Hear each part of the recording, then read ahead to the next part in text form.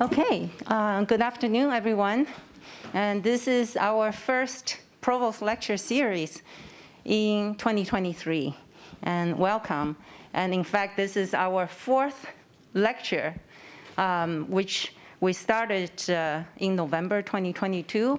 And this slide, again, just uh, as a reminder for those of you who are here the first time, that uh, so we created the Provost Lecture Series mainly to focus on the OIST faculty members. And we want to celebrate um, the faculty members when they either get promoted to tenure or promotion, and also for those who are going to retire very soon.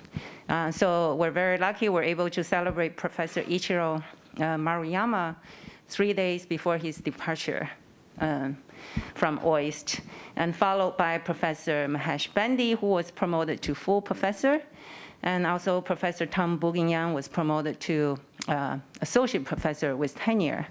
And so today, it's uh, my great honor to present, also to introduce Paola Laurino, who will be introduced properly by our colleague, uh, Professor Simone Pigolotti. And uh, I just want to, again, to thank everyone from the admin side and from the provost office who helped us to make this process, uh, to make the Provost Lecture Series possible.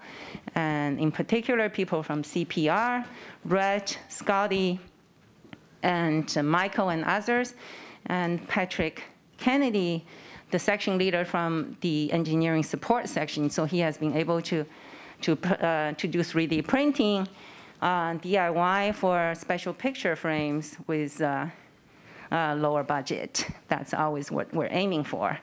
And of course, everyone from the provost office.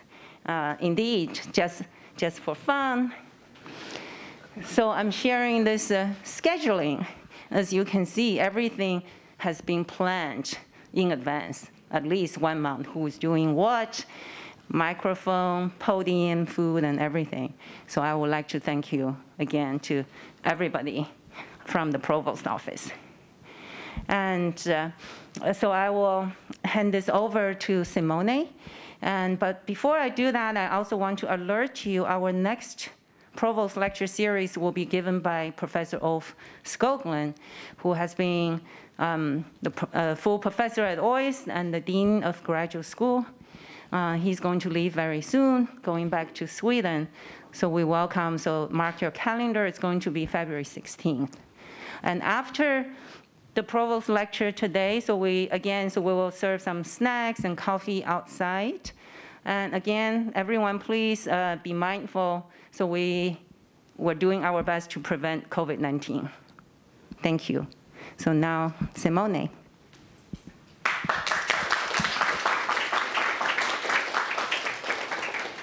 So uh, welcome everyone. Um, it's a great pleasure to introduce uh, Paola's uh, provost lecture today um, called uh, From So Simple a Beginning. So there's an old saying in science that if you look at uh, research institutes around the world, they all have two things in common. They all have a lot of coffee machines and a lot of Italians. so when I first visited OIST, I was surprised because I saw lots of coffee machines around, maybe not so many Italians then, and little I knew how quickly things would have changed in this place. And so, yes, so Paola actually arrived shortly after I visited here for the first time. And um, so quickly we all uh, got a chance to know her and we figured out um, how lucky we are to have her here at OIST with us. So Paola comes from um, previous research experience in some of the best research institutes around the world. She has a PhD at ETH Zurich in 2011. Later, she moved for a postdoc at the Weizmann Institute in Israel, and then she came here for her um, faculty position as assistant professor. And today we are here to celebrate her promotion to um, tenured associate professor. So um, Paola's research um, uh, has to do with uh, proteins, And she studies uh, evolution of protein function from uh, two different sides. One is the uh, natural evolution, but also um, from the engineering perspective. So how we can um, artificially evolve protein to perform uh, functions that we want. And so there is these uh, two sides of uh, natural and synthetic biology. And over the course of uh, these years, Paola has, um, Paola's research has branched in many different directions, really making best use of what OIST has to offer, um, reaching fields such as synthetic biology, biophysics, and up to a recent work on liquid, uh, liquid uh, phase separation that uh, she will tell us about today. So um, again, Paola will tell us much more about this. What I want to say is that uh, she, she has been a very effective PI, and to be a very good PI, you don't only need a good research topic and good research skills, but social skills are also very important. And uh, in fact, what Paola managed to do here is to um, build up uh, a great research group, the Laurino Lab, uh, that not only has been uh, very productive in these years, but uh, has also a great atmosphere. And I know that uh, she really invests a lot of uh, energy in um, nurturing her group. And if you know her, it's not a surprise that last year she received the, the Faculty Excellence in Mentoring Award from OIST. Um, Paola is a very accomplished uh, experimentalist, but she's not only at ease in the lab. She has uh, other interests outside the lab. She likes the great outdoors, and I have to thank Take for sharing the pictures. Uh, she loves uh, yeah, exploring the great natural spaces, and she's even more uh, adventurous than that, as uh, witnessed by these pictures. Um, if you know her, you know that she's a very energetic and very determined person, and these uh, pictures only confirm that and also show that she has everything it takes to be a successful scientist.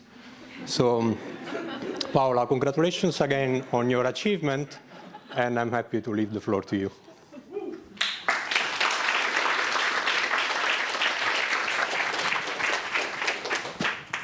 Yeah, I just want to forget that traverse. that is the most scary stuff I did in my life. um, thanks everybody for coming here. First of all, I would like to thank Amy for this initiative of the Provost Lecture. And I would like to thank the Provost Office to organize this and to put together the poster. I, I really like the poster they made. And Simone for the kind introduction. Uh, this talk will be divided in three parts. In the first part, I will tell you a bit about my um, personal and scientific journal, journey. is going to be very short. And then uh, I will introduce you what uh, we do and we have done in general in our laboratory in these last uh, five years. And then I will just dig in one of the projects, the Droplets project, uh, which I'm very proud of as well as all the other projects in my lab. Um, I was trained as a chemist, actually as a medicinal chemistry, as a medicinal chemist. I got my degree, master, uh, master degree from Milan University. In Italy, master degree is uh, a big, uh, a big thing. So, and actually, this is the day of my degree. This is two of my close friends. We are currently still friends of mine. And uh, yeah, we put this Lauren crown, like in the ancient Roman time for the emperor, when we get master degree. After this, I moved to Leiden University, again with a small uh, fellowship from the European Union. I spent there one year, and again, I was synthesizing a small molecule, um, medicinal chemistry. I was in the medicinal chemistry department. This is a group picture. They used to have uh, a lot of uh, events, and uh, uh, the perspective is right and very short compared to Dutch people, which are very well known to be the tallest in Europe or maybe around the world. Um, after this, I decided to, to switch, and I went to do carbohydrate chemistry to synthesize carbohydrates. Carbohydrates are polysaccharide, com commonly called sugars. And for this, for mm, the chemistry is very different from medicinal chemistry, where we do small molecule synthesis. For for me, this was a stepping into unknown, a completely different uh, kind of chemistry. I moved uh, to ETH Zurich to do my PhD in organic chemistry, synthesis uh, of polysaccharide. This is uh, few group, few lab member, maybe the closest friends. Uh, yes, Simone mentioned we were making dumpling in this case. and um, my uh, PhD advisor moved in the middle of my PhD to Max Planck Institute in Berlin, Professor Seeberger. And uh, so I had the opportunity to work uh, in uh, two of the uh, the most prestigious institute in Europe. After this, uh, I was uh, at the end of my PhD synthesizing polysaccharide, sugar, and the polysaccharides actually binds to protein.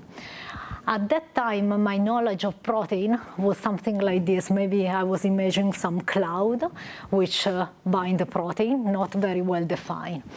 And again, in my career, I decided to, stop, to step in something unknown. And I wanted to see what is this binding protein and maybe engineering and modify. I was lucky at that time because someone support this uh, um, completely change in field. And this was uh, my postdoctoral advisor, the late uh, Dan Tawfik. I moved to Weizmann Institute of Science. This is uh, a picture which was taken just before I left Weizmann, is half of the group. We used to prepare uh, happy hour, again food, departmental happy hour, and it was our turn to prepare this. Uh, so basically, I end up, uh, I was trained as a chemist, and uh, actually I became a protein evolutionist. Why I'm saying this? Because I had the hardcore training in Tawfik lab on the origin of uh, function of enzyme. And what I've spent most of my time in Weizmann, not only to understand and characterize the protein, but also to define minimal and ancient protein geometry to distinguish between convergent and divergent evolution. And here we were looking for something very ancient, something at the origin of life, uh, some geometry which is retained from 3.5 billion years. Um, then I came to OIST in September 2017. I couldn't find our earlier picture. This is a picture of my group, probably 2018. And uh, my group in these five years uh, expand and uh, this is a picture we took last uh, November. Actually, it was celebration for my tenure. Uh, what uh, I would like to tell you is uh, what I learned from these uh, five years, uh, not sorry, from my personal and scientific journey from my master until now. The most important things, uh, I think, is support of people, and this can be family, can be friends, can be older person, so advisor, but also student. what is very important is enthusiasm for science. And uh, I think for me the most important thing was uh, to be able to step in the unknown at different uh, stage of my career. Uh, I really like to keep my learning curve very steep. Um, I title my talk from so simple a beginning. This is a quote from uh, Charles Darwin from The Origin of Species book. Uh, and the full quote says, uh, from so simple a beginning, endless forms, most beautiful and most wonderful have been and are being evolved. I take this because this is very inspirational book for uh, any kind, any form of evolution, from protein to, of course, uh, uh, species. Um, in my laboratory, we are working with protein. Now, uh, when we think about protein, many people might think about food, actually. Uh, I'm not good at, in Japanese, but actually someone tells me that here it's written protein in katakana, and I think most of you knows.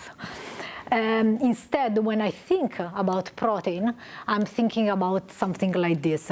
A protein is a long chain of amino acids, which actually fold in a three-dimensional structure.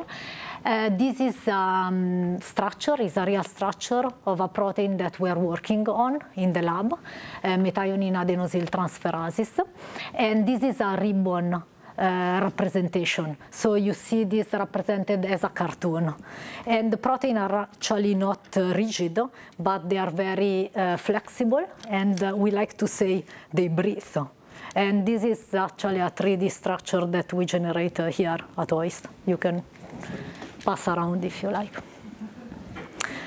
Um, protein are very important. Uh, one example to give you about their importance, if, uh, if we look at, uh, an illustration by Goodsell of a section of a bacterial cell, this uh, the inside of a bacterial cell. Uh, this is the cell membrane and this is the flagella. Each of these elements are actually protein. Protein are highly packed and constitute uh, most of the living material. In particular, in my laboratory, we are interested in enzyme. Not all the people in my lab, but most of the people works with enzyme. Enzyme are a protein, but they can catalyze reaction. So basically they take substrate and they transform in a product. It's like a fuel uh, that goes into the enzyme. Um, enzyme catalyze reaction and make this reaction much faster than how they would occur without enzyme as without a catalyst. This is another enzyme we are working in the lab. It's called DNA methyltransferase. This string that you see here is actually DNA. This is an enzyme and this enzyme, the substrate is DNA, but it has also a small molecule as substrate, and it can transfer group uh, to this uh, DNA which is the substrate. Why enzymes are so important? Because uh, metabolic reaction actually require catalysis and require a fast catalysis. Metabolic reaction must occur very fast to sustain life in an order of magnitude between 10 to the minus 5 to um, 100 seconds. But actually most of the reaction that, we, that occurs uh, are very slow, are very slow when they are not catalyzed by enzymes. As you can see here, there are some example of some uh, um, reaction that occurs basically every second in uh, every cell of your body. And uh, for example, amino acid racemization will just take years, I mean, thousand years to occur without an enzyme. And again, to stress out this point, if we look at inside a cell, these are all the, is a schematic representation of all the metabolic pathway. So each of these metabolic pathways is actually catalyzed by this enzyme. In my laboratory, we, stud we study enzymes and proteins, and how we study this, we look at, at the history of uh, this enzyme or uh, protein. So um, we have this long chain of amino acids which fold in a three-dimensional structure and over billion or million of years they accumulate mutation to perform optimally their function. Uh, or to acquire a new function when they have to adapt to a stress or a challenge. So we try to understand how these mutations are accumulated and we try to define general rules behind that. Then once we understand this, what do we do? We do something that uh, humankind has been trying to do, I mean, has done since centuries. Um, I'm Italian, so I pick up another example from uh, Italian history, Leonardo da Vinci. Um, this is just an example. He, uh, he, studied for a long time how bird can fly. And then he applied this rule to try to make a prototype of airplane. Um, basically, what we try to do is define this general uh, rules that nature apply to evolve new function or switch between function and engineer enzyme for new function. Why this is important? Because by engineering and creating new enzyme, you can, for example, manipulate cell or um, uh, solve other problem, for example, bioremediation. So what we are trying to do in our laboratory is to define these general rules. We don't study one single enzyme, we study different enzyme. Uh, we are particularly interested in some problematic or some problems of the evolution of enzyme and emergence of function. But uh, yes, we don't we, we, we don't focus on one single enzyme, but rather to define the general rules. Now I will give you just uh, an overview of a few projects which uh, we succeed in the last uh, five years, and then uh, I will uh, focus on one single one. Something that uh, we have been interested is uh, how indels uh, expand enzyme functionality. As I mentioned to you, protein is a long chain of amino acid, and this long chain of amino acid can acquire mutation. This mutation can be substitution, so one amino acid exchange with another amino acid, or you can have shorten or elongation of the chain by addition or deletion or one or more amino acid. We call this uh, addition or deletion indels. Um, indels are much more difficult to study because uh, they change the structure of the protein. So this tridimensional structure often comes uh, is disturbed. And uh, we, we were particularly focused on indels. This one example from my laboratory. We look at that Rossmann fold enzyme, which is the three-dimensional structure that is going around and is uh, blue and white. And this enzyme uh, fold is very important because it's 20% of our proteomes. And this enzyme fold is catalytically very diverse. It can catalyze more than 300 reactions, while most of the enzyme fold can catalyze only one reaction. We were particularly interested in functional switch uh, between reductase and methyltransferases. These are completely different reactions. And uh, basically, we find out that the deletion of free amino acid in the catalytic center of this Rossmann fold can promote the switching functionality. And this is not only for one enzyme, but is actually for a class of enzyme and is highly conserved in nature. Something else also related to indels that we have been studying the last few years is the chitinase enzyme. Chitinase enzyme degrades chitin. Chitin is a long chain of polysaccharide and is the most abundant one uh, after cellulose. Uh, chitin is very important because constitutes the cell membrane. So basically you can degrade the cell membrane by the use of this enzyme and others. Chitinase, uh, we are particularly interested in the chitinase from plant and we see nature two of them. This chitinase, which you can see doesn't have this ornament, while this other is, is a longer chain and it has much more orna ornament. This ornament we call them loop. And uh, what happened in nature is that uh, the loopful, so the enzyme with all this loop, acquire a new function, an antifungal activity, while the one without loop doesn't have this antifungal activity. So basically the addition of this loop, loop far away from the catalytic center allows the, um, a new function, a new biological function.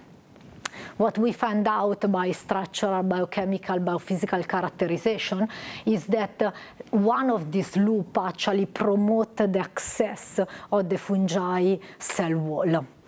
And uh, this makes completely sense that this enzyme acquire this function because uh, fungi is the um, most dangerous uh, um, uh, most dangerous microorganism for plant. So we study the origin and the mechanism of the acquisition of this loop. Something else we have been interested is always related to enzyme functionality, but in this case is specificity. I mentioned to you that the enzyme take a substrate and generate a product. Um, but actually, enzyme often are not specific for this substrate. We focus on one case, the MAT enzyme. MAT enzyme is the enzyme, the first structure I show you that it was moving at the present, during the presentation. And uh, this enzyme uh, has the identical catalytic pocket between the, the, bacterial enzyme and the human enzyme has the identical catalytic pocket, but completely different specificity. While the bacterial enzyme is very specific for the substrate, the human one is not specific at all. Uh, we study the mechanism be behind the specificity. And we also demonstrate that in cancer cell line, uh, this promiscuity is actually re relevant, and uh, it goes to basically uh, generate other product in cancer cell line. This can be, of course, uh, um, this can be considered biomarker uh, for cancer cell line. We've been interested in mistranslational error. This is something that we started just recently, and we will work more in the next few years. So the mutation that uh, we have been discussed so far, they are all uh, encoded in the DNA that uh, encode for the protein, but actually we are interested at, at er error at the protein sequence, which get encoded at the translational level. Um, and finally, we develop a system that mimics uh, uh, cytosolic condition. And uh, uh, why we generate this system to study enzyme activity. Uh, today, I will focus all my lecture on this system. Why I decide to focus on this? Because um, this is a very interdisciplinary project which goes from biology to physics to biochemistry. Uh, it's something that uh, I um, uh, it was something like uh, stepping in unknown again for me when I started my tenure. And uh, it wouldn't have been possible without the support of OIST. Uh, we usually study enzyme in buffer condition. What do I mean? We study enzyme in, uh, in water with salt. These conditions are diluted and are very controlled condition. At the beginning of this project, we were wondering uh, uh, what is happening if we try to mimic or reconstitute something highly packed, like the interior of a cell. Uh, the concentration of this protein is about 5 millimolar, so very high. If we could uh, generate uh, this kind of system, we could probably study uh, how the protein crowding, the macromolecular crowding, can have a positive or negative effect on enzyme activity. Because this molecular crowding for, could, for example, affect the stability or the activity of the enzyme, the diffusion of substrate, or um, the other properties, the physical properties of the cytosol. So basically we were aiming to have a simple and controlled uh, cytosolic-like system. And we wanted to basically match the same micromolecular crowding than the cytosol, the, the cytosol in the cell, the inner of the cell. We wanted to have a steady state activity, so uh, a control activity inside this cytosolic system. And we ideally we wanted to have uh, avoid external perturbation. So we want, didn't want to add mechanically the substrate, but let it freely diffuse into the solution. If uh, we could have achieved something like this, this system will have allowed us to study enzyme kinetics, dynamic structure in almost real condition, or at least mimicking some of the real condition. To do so, we decide to mimic what is inside the cell Uh, this uh, phenomena, liquid-liquid phase separation, was discovered a few years ago.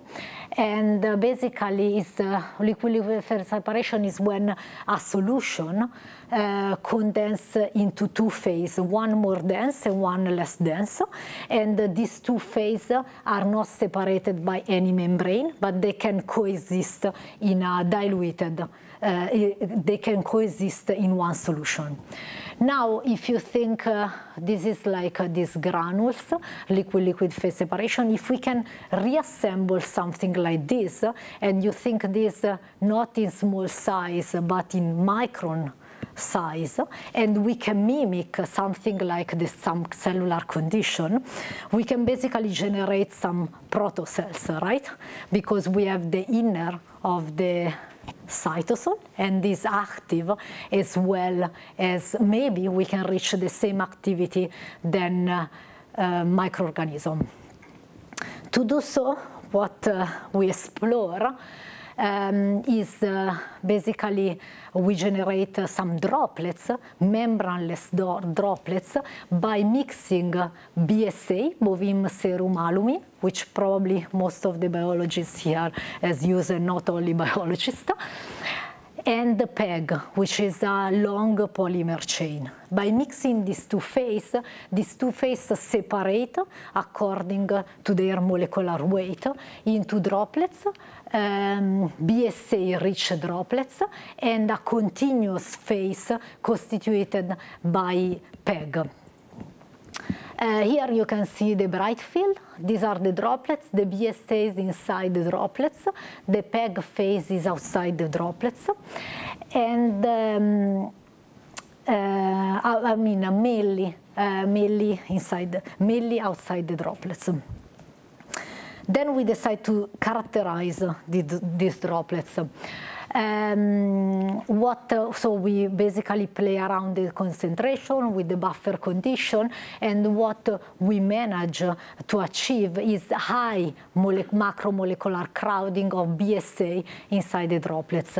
Here you see a bright field image and then what we did, we fluorescent label uh, BSA and we took uh, an image at the microscope to show that most of the BSA is actually inside the droplets.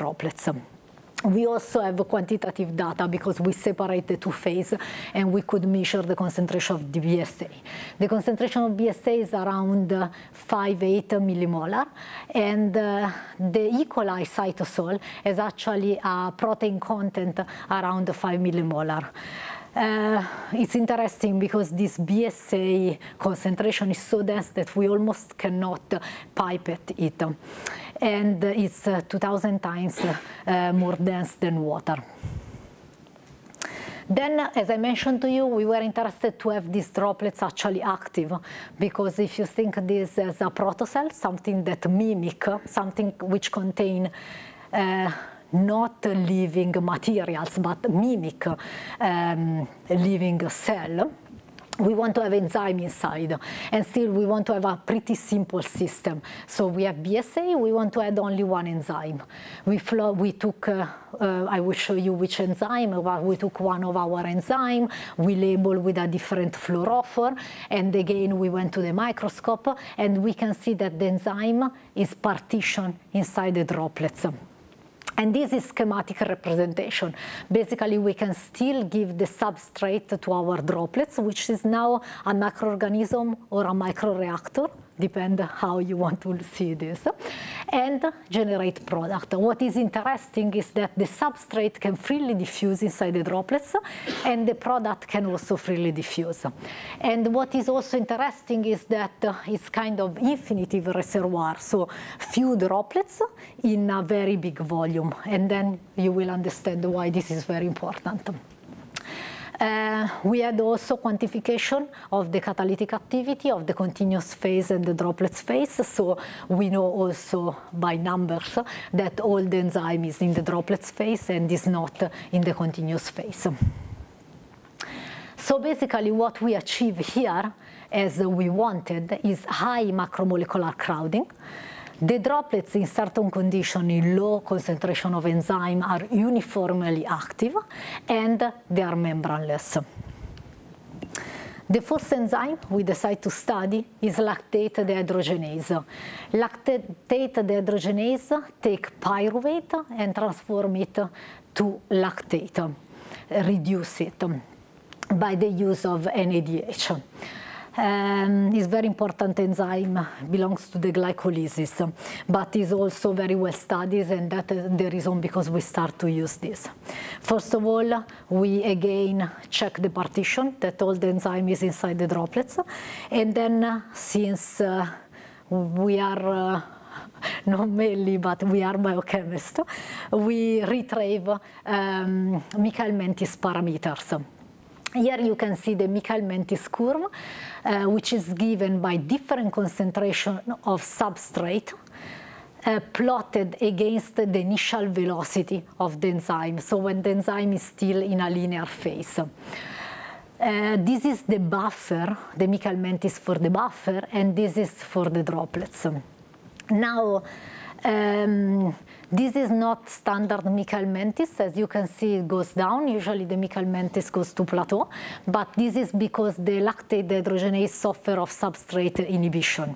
So after this point, the substrate basically get into the catalytic pocket, but in an unproductive conformation. What was interesting to notice this here, and we have noticed, and we actually we have tested this for many other enzymes, is that uh, we had increase in catalytic efficiency. So how we define the catalytic efficiency as kcat over Km, so the turnover rate. And we could see twofold increase in catalytic affinity. Now we are investigating this, not only for this enzyme, but also for other enzymes, because we see the other, behave, uh, other, other enzyme behave in the same way, at least with enzyme with um, active catalytic loop. And what we have found out by MD simulation in crowded environment is that uh, the closed state, so the active state of the enzyme is uh, favored in this condition compared to the open state. This was done uh, in collaboration. The MD simulation has been run by uh, Yuji, Sugita, in RIKEN, in the supercomputing facility in Kobe. Um, again, we wanted to have high and sustained enzymatic activity. Now here we plot this in a different way. This is the rate of consumption of chemicals, but basically this curve is exactly the same curve than the uh, Michaelis-Menten curve that I showed you before. It's just that here we use different concentration of enzyme. And uh, if we plot this and we look at uh, more or less uh, what is the estimated um, activity of a microorganism, we can see that we have same metabolic density of the angriest microorganism. Another very important characteristic of these droplets is the fact that if we run this is uh, the same reaction in solution, in buffer. So this is time and this is the product formation. The reaction is basically over in five seconds in buffer condition. But if we use uh, uh, these in droplets, because of the continuous diffuse of substrate, the reaction can actually, um, uh, the reaction lifetime increase thousandfold. Finally, we were interested to see if this enzymatic activity can generate some macroscopic effect inside the crowded environment. To do this, we use a different enzyme, urease enzyme. Why we use a different enzyme? Because this enzyme is much more catalytically efficient compared to other enzymes. Uh, urease decompose urea in ammonia, which is a strong base, and CO2. Uh, as we did before, we compartmentalize the urease inside the droplets, as you can see here. And, uh, and then we look at uh, the activity at the microscope. Now I will show you, we put into the droplets some polystyrene nanoparticles, and you can see nothing is happening. And this is actually the picture we used to get also from the lactate dehydrogenase. But uh, once we had the substrate, we see a directional flow. And this was very, very surprising for us because uh, uh, you can see this even without uh, nanoparticles, just looking at the droplets. Uh, this is the comparison. Uh, now the uh, urease generate a strong base. We were in buffer condition, but not so strong buffer condition. We were start to wondering if it's uh, actually something due to the um, uh, base that we are forming in these droplets. What we have done is to take the BSA and label with a pH dye, which is called SNARF. This pH dye basically change color according to the pH environment where it's sitting. And as you can see, while the reaction goes on, uh, the pH change from pH 6 to pH 9. Uh, we had quantitative measurements of this, where the pH increase over time, and also we reach around the pH 9, which is not so surprising because the pK for the ammonia is around 9. And then, of course, we did the characterization of these droplets. Uh, we can see that uh, keeping the same concentration of urease, but with different concentration of substrate, the change in pH is different.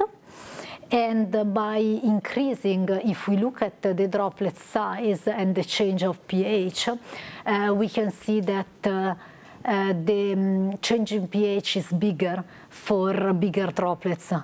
And uh, this is hinting on something about the diffusion of the substrate and diffusion of the product that we are currently investigating further. So basically, what we what we managed to do is uh, generate, we self-generate a pH gradient inside the droplets, and this drives a directional internal flow this project and especially this part which was the characterization of this flow, the directionality and the physical reason before, behind this directional flow has been studied in collaboration with a group of physicists in ETH Zurich. The head of the group is uh, Eric Dufresne and this PhD student spent almost one year in our laboratory here uh, studying this, um, this phenomena. Not only this, we push this further. And uh, now when we were doing these experiments, we have a glass and uh, these droplets basically pin on the glass. So all the video that I show you, we look at from the microscope from the bottom, and it's a kind of semi-sphere, right? And we look at from the bottom.